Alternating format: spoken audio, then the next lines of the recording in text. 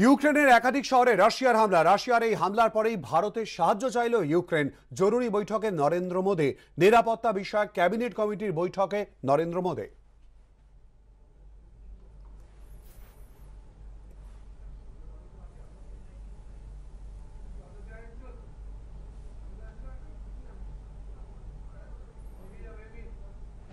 Вже штук 20 пролетіло.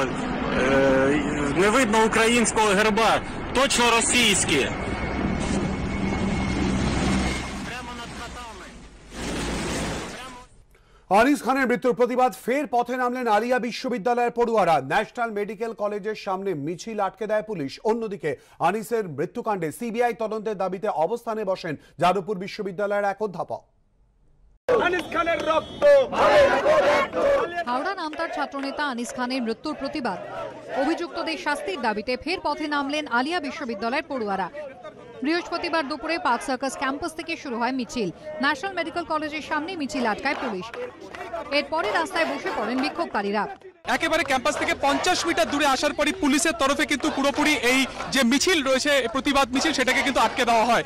তাদের যেটা বক্তব্য যে তারা কোনো রকম হিংসাত্মক কোনো রকম পদক্ষেপ তারা করতে চাইছেন না এবং পুলিশের কথা মেতে মেনেই তারা পুলিশের সাথে আলোচনা করেন এবং এই মুহূর্তে তারা ঠিক যেখানে পুলিশ আটকেছে তার সামনেই তারা ব্যানার টাঙিয়ে সেখানে কিন্তু এই মুহূর্তে তারা স্লোগানিং দিচ্ছেন।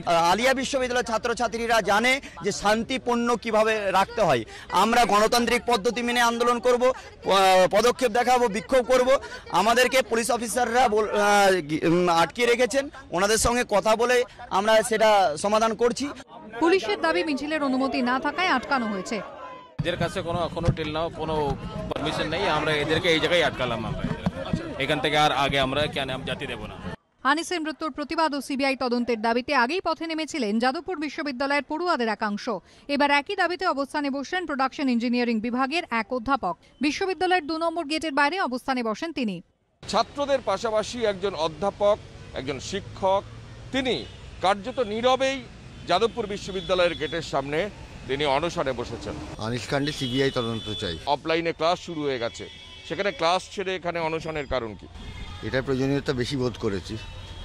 তার জন্য যদি দরকার হয় আমি আমার মাইনের থেকে যে, এই যে কদিন আমার ক্লাস হচ্ছে না, সে কদিন মাইনে নেব না বা ছুটি নিয়ে নেব। বিকেলের দিকে তিনি অসুস্থ বোধ করেন, এরপরই সহকারী অধ্যাপকরা তাকে হাসপাতালে নিয়ে যান। আনিস মৃত্যুর প্রতিবাদে এদিন কলকাতার পাশাপাশি জেলাতেও বিক্ষোভ মিছিল করা হয়। সুকান্ত মুখোপাধ্যায় ও কৃষ্ণেন্দু অধিকারীর report ABP Ananda.